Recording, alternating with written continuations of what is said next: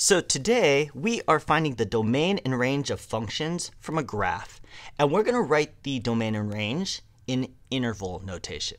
Okay, now the first thing you really need to know is that when we're looking for the domain, we're listing all the possible x values that the function could be.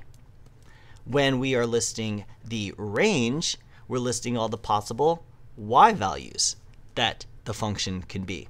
So we kind of have to pay attention to the graph in those terms. When we're looking for the domain, we're just focusing on the side to side. When we're focusing on the range, we're focusing on the up and down. Okay.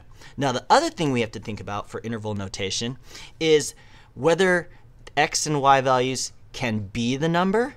If so, we would use the brackets. Or if they can go up to but do not include that actual number, in that case we would use the parentheses. All right? And it's best to see these with an example. So let's do this example together. We're going to give the domain and range of this function here. Let's start with the domain. Okay. Now, what possible x values can this be? So focusing on side to side, notice the smallest x value can be is right here. And that's at negative 6. All right? Can it be negative 6? Why, yes, it can, because there's a point there. So I'm going to use the bracket and negative 6. Okay? Now I'm going to put a comma because interval notation has the smallest and then the biggest separated by a comma. What is the biggest possible x value this can be? Well, if you go side to side, notice there's an arrow at the end of this one saying it continues forever. So it's going to keep going. So what is the biggest value? Well, there isn't one. It's going to keep going to infinity. So we're going to say infinity is the biggest possible x value. Can it actually be infinity? Well, no number can actually be infinity. So in this case, we have to use the parentheses. And that is how we show the domain. The x values could, they start at negative 6, and they go all the way up to, but do not include infinity because infinity is not a reachable number. All right, so now let's talk about the range. So for the range, we are going to talk about the vertical, the y values. And if you look here, what's the smallest y value it can be? So notice down here, at this point of the function, it goes flat. So this looks like it's the lowest place the function can be. So negative 4 seems like it's the smallest. Now, can it be negative 4? Well, yeah, it's pretty much just sitting at negative 4 for ever, basically. So we'll say there's a bracket, and there's your negative 4. Okay, because y can be negative 4. Now, what's the biggest y value it can be? All right, let's see. It goes up to right about there. It goes up to 4. Can it be 4? Why, yeah, there's a, there's a point right there. It just touches it for an instant, but yeah, it can be 4. So I'll put 4 there, and then again, it's a bracket because it could be 4. So that's how we would say that the range is, or the possible y values of this function are from negative 4 up to and including positive 4. All right? Let's do a second example so we can see it again. All right. Here's a new one. Again, we're going to find the domain and range, this time of this function.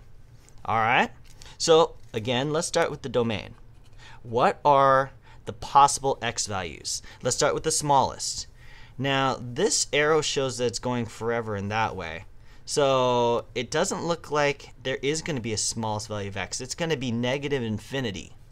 So we'll start it at negative infinity. And just like we said before, x cannot actually be negative infinity.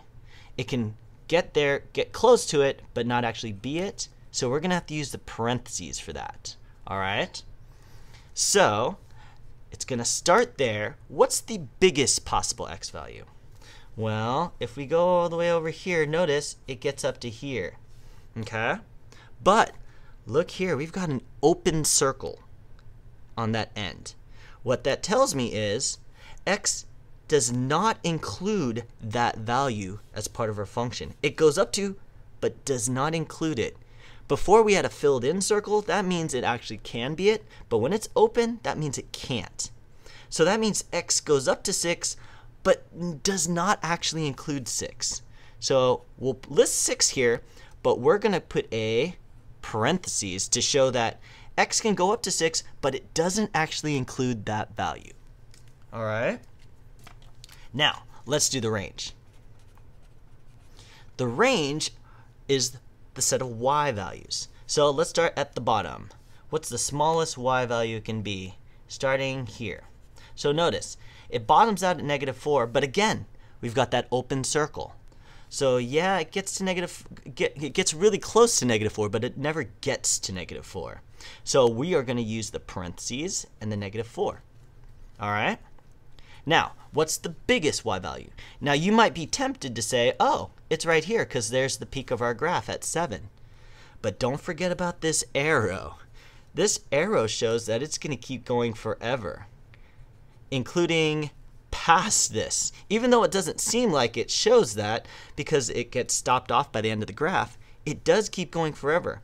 So the highest y value is infinity. Can it be infinity? Of course not. No number can actually be infinity, so we use the parentheses. All right? So the key to domain and range is to really focus on one thing at a time. For domain, focus on the side to side. For the range, focus on the up and down and pay attention to those arrows. That'll trip you up every time.